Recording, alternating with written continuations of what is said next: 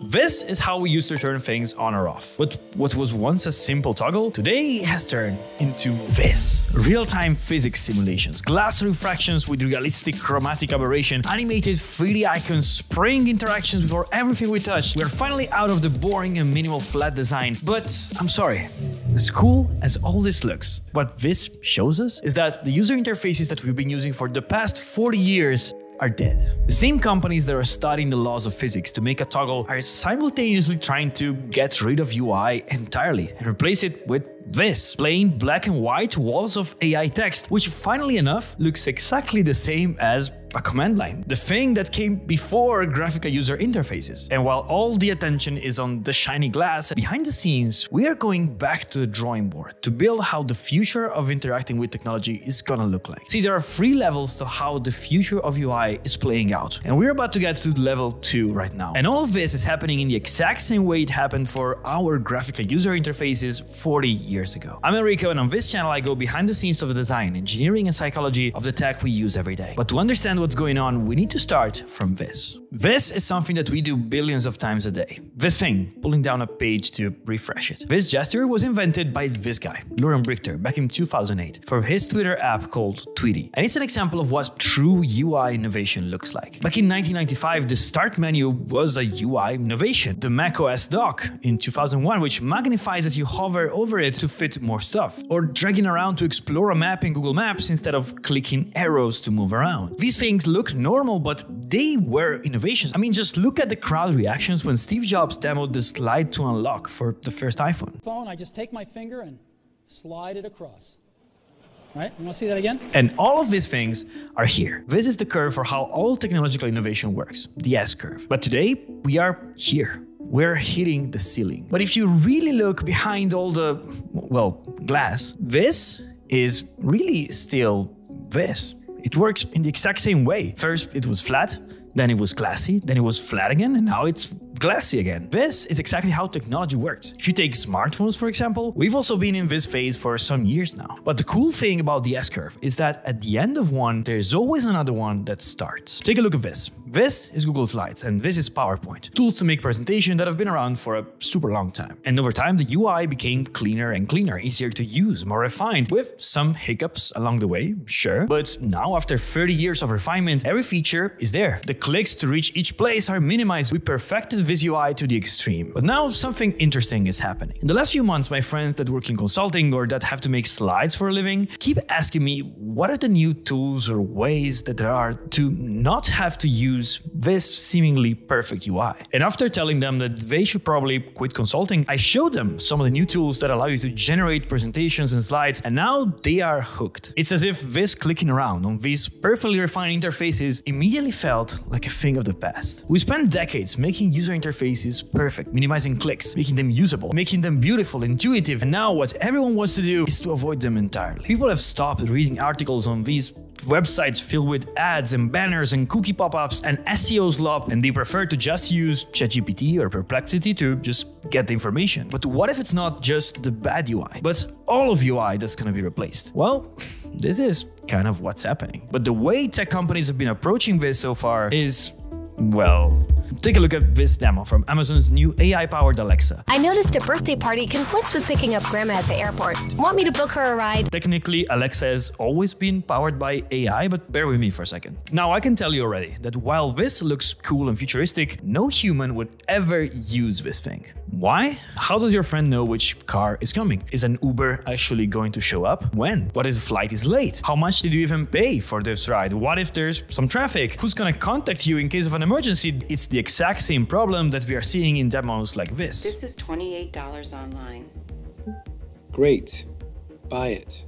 Now tell me, if you need to buy something, would you rather do it like this? Alexa, I need to buy a tungsten cube. First result is tungsten cube 1 cm x 1 x 1 cm heavy object. Or just see this. User interfaces are great at output, at showing things to you, like the representation or the options for your Uber ride with prices and time estimates and information, and they're all visually laid out. But they suck at input. You need to scroll through menus and toggles and finding everything in some obscure panel. Today's chatbots and voice assistants assistants, on the other hand, are amazing at input. You can ramble to ChatGPT in voice mode or write some malformed prompt, and it's really good at understanding what you want. But they suck at output, at actually showing you information, making you feel in control. Now, this is gonna be evil. Next time you go to a friend's house, try to say, Alexa, add a MacBook Pro M4 Max 16 inch to the cart. You're gonna see their heart sink as Alexa tries to randomly add a 4,000 plus dollar Mac to their cart and is ready to check out. And if you have an Alexa and you're watching this video without headphones, you might having that feeling right now. See, tech's obsession with this idea of the omniscient chatbot is not new. Take a look at this. This is a demo from General Magic in 1998. Look up Kevin Kramer.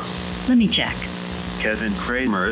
The company name is Adventure Dynamics. And this is the same vision that was supposed to make Siri, Alexa, and Google Assistant the future of interacting with technology. But it never happened. We now have this new wave of chatbots and assistants that are taking over the world. In just three years, ChatGPT went from nothing to getting 2.5 billion prompts to it every single day. It's the fastest growing tech product ever. And these feel magical because finally they have solved the input problem. They made it human. But if you look at the output, we went back to how command lines used to look back in the 1980s, just black and white walls of text. But finally, we're starting to see something new happening. The start of a new S-curve. There are three levels that we are already seeing to this new post-UI world. And I've been using level 1 stuff for a while now, and there are the first demos and experimental projects of level 2 already. And believe me, after trying some of these, this is gonna feel like the old world really, really soon. While Apple or Google were busy perfecting glass checkboxes or doing yet another redesign of the quick settings panel, quietly we are starting to see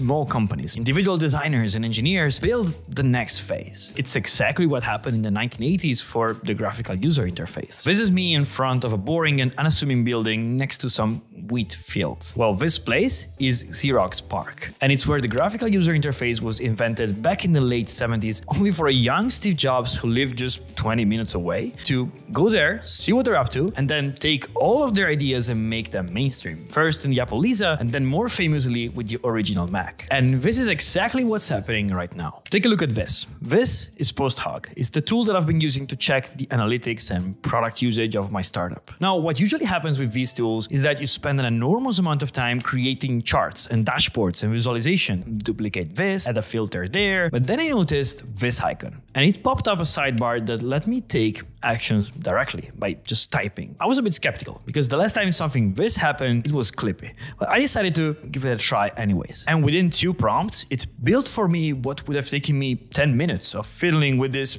actually pretty well done UI. I thought, okay, that's cool. But then I went back a second time to create another chart and I immediately felt drawn to clicking that icon again and again and again. I was starting to have that oh shit moment. And this is not something that's coming in the future. This is level one and it's happening right now. Cursor did the same thing for coding chat on the right and the app to the left. Dia browser, same thing, chat on the right, page on the left. But talking about browsers, this is Comet by Perplexity, a new kind of browser that is currently under limited access, but that allows you to take actions via chat on your web pages. Again, same UI. Now, the products that you can use today that do this chat plus UI thing in a really actually useful way are still very few. But once you try them and it clicks, you naturally find yourself using the graphical user interface less and less. You slowly resize the chat window to be a little bigger and then a little bigger. It's literally the old world and new world side by side, and the new world is getting bigger. But this is still level one. It still does feel like a chatbot. So what if we take the old world of UI and the new world of AI, we don't put them side by side,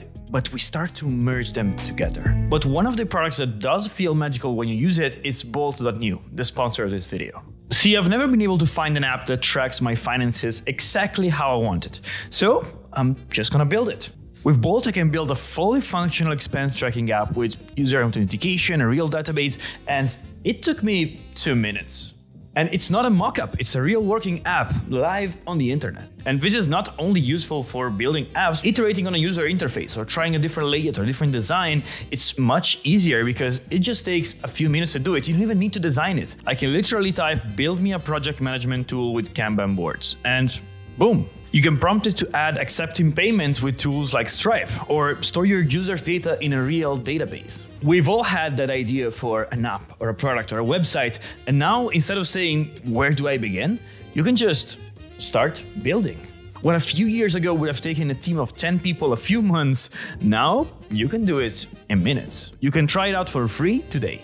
Just go to bolt.new and start building something real. Take a look at this. This is Todoist. It's a fairly popular to-do app, but they are working on this experimental feature called Ramble. You have this Ramble button, and once you click it, you can start to dictate natural language commands not to a chatbot, but to the existing Todoist UI. It's not the typical back and forth of the chatbot because here the UI we have gotten used to is still there to guide you. It gives you real-time feedback and output what graphical user interfaces do best. Now, Todoist is a very simple to-do app, and this is still an experimental feature, but it's the seed for something incredibly powerful. Because imagine how this would look like in a complex app like Premiere Pro to edit videos or Photoshop. Eventually, you might not need all these other buttons right here, and you'd be increasingly more drawn to just one button, the Ramble button. And here at level 2 is where I think we'll start to see the real mainstream adoption of this. Why do I say that? Well, because of this. This is me in San Francisco, trying a self-driving robotaxi from Waymo for the first time. It did feel futuristic, but what helped me feel at ease is the fact that while it was driving itself through the streets, that was still a regular car with a steering wheel that moved and pedals that moved. I felt